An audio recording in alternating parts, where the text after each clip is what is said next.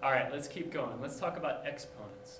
If you want to see a detailed explanation of all the properties of exponents, uh, go to the file on the website, 090.pdf, and it should be there for you, right on the website. Um, I'm going to go over a few properties really briefly, and then we're going to do a couple of problems. so the thing to remember about exponents is this. If you're given an expression like, say, x squared, y cubed, and you want to simplify it, the only way that you can simplify this expression using uh, rules of exponents is if the two bases are similar, x and y are the bases in these in this case, or if the two exponents are the same. So either, I'll say it again, either you have to have the same base or the same exponent. Now it looks to me like you don't have the same base and you don't have the same exponent in this case. So there's not much you can do to simplify this. Uh, there are tricks that you can do, but for now, we'll just say there's not much you can do to simplify this problem. But what if you had x squared, y squared? Well, then there's something that you can do to simplify this problem. Since both the x and the y are squared, we can combine the x and the y together and square the whole thing. And that's one of your properties of exponents in your 090.pdf file. Now let's look at the example where you have the same base. In this case, the base in both cases is x. One is squared, one is cubed. They're different, different powers, but that's okay, we can still combine them. When you have similar bases and you have two terms that are multiplied by each other, you can just add the exponents. In this case, x to the power 2 plus 3, which is just x to the fifth power. That's another property of exponents. Uh, you can also do the same thing if two terms are divided by each other. The only difference is, instead of adding your exponents, you're going to subtract the exponents. Keep in mind you have to have a similar base to do this. in this case, you get x to the 2 minus 3 power. 2 minus 3 is negative 1. So you get x to the negative first power. Now, you might remember that there's another property of exponents that involves negative powers. Anytime you have a negative power, what you can do is move this term into the denominator and make the power positive. So what that means is we can move that term from the numerator to the denominator and change the power from negative 1 to positive 1. Of course, you usually don't have to write the power positive 1 on a term, so you can just call it 1 over x.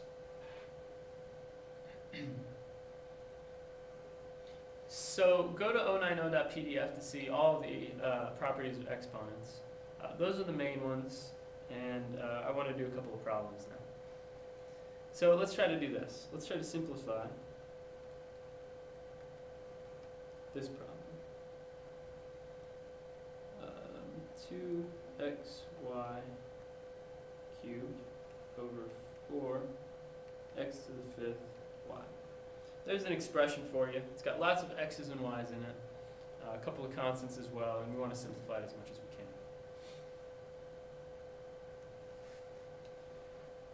So it looks like what we can do uh, to simplify this problem, uh, if you remember your order of operations even, you could um, try to get rid of these parentheses. Now go to your list of properties of exponents, and you'll see that when you have a big term with, with lots of different parts in it, all of it's cubed, what you can do is split it up into three pieces.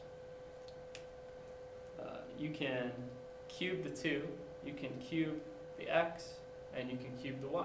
So you can split this up into 2 cubed, y cubed, and x cubed. The denominator we keep the same for now. And that's what we get.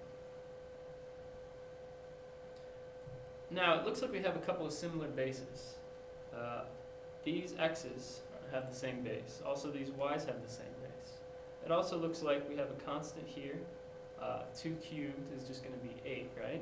and we have a 4 in the denominator. So we can do a little bit of cancellation there as well. So let's split this thing up into a couple of pieces. Let's take the constants out. 2 cubed over 4. We're going to multiply that by the term with the x's in it. X cubed over x to the fifth. And we're going to multiply that by y cubed over y. Notice we have the same thing uh, down here as we did up here. They're the same exact thing, we just have rewritten it a little bit. Split it up into three different pieces. Now each one of these three pieces can be simplified. Uh, 2 cubed is just 8. So we have 8 over 4, which of course you know is 2. X cubed over x to the fifth, we can use the property of exponents that says when you have a similar base, you're dividing two terms, you can subtract their exponents. x to the 3 minus 5 power. This term, again, we have the same problem. Uh, we have the similar base, different powers, we're dividing, so we can subtract the powers, keeping in mind that there's a power of 1 on that y there. So we get y to the 3 minus 1 power. Now we can put everything together and simplify this. Uh, 8 divided by 4 is just 2. 3 minus 5 is just negative 2, so we have x to the negative 2. And 3 minus 1 is 2, so we get y to the second power, y squared. Uh, so there are a couple ways we can write this final answer. We can write this as uh, 2x to the negative 2 y squared. Of course, all of these are equal to each other. Sorry. Um, so we could write it as 2x to the negative 2y squared. Or we could write it as uh, 2y squared over x squared. Notice what we did there is we used the property uh, of exponents that says when you have a negative exponent, you can move that whole term to the denominator and make the power on it positive. So either one of these two answers is perfectly fine. Why don't you try one on your own? Uh, why don't you try to simplify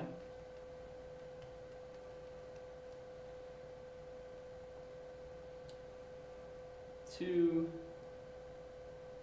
a squared b cubed squared over, oh, let's say um, 2 a to the fifth b squared. See if you can simplify that as far as you can and come back and see how you did.